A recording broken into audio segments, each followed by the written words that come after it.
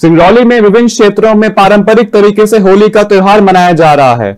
लोग फगुआ के गीतों में धूम मचाते नज़र आ रहे हैं। हर तरफ़ मस्ती का माहौल है। सिंगरौली ज़िले में परंपरागत होली के पहले ही फगुआ छाया हुआ है। लोग जगह जगह फगुआ रे फगुआ गाते हुए दिख रहे हैं और हर्षोल्लास के साथ रंगों का ये उत्सव मना रहे हैं।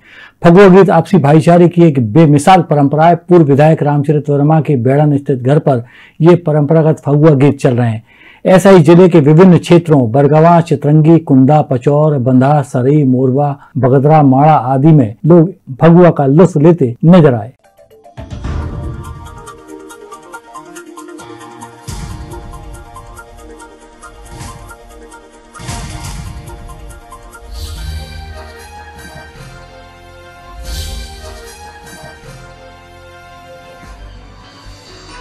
आप देख रहे हैं दखल न्यूज़।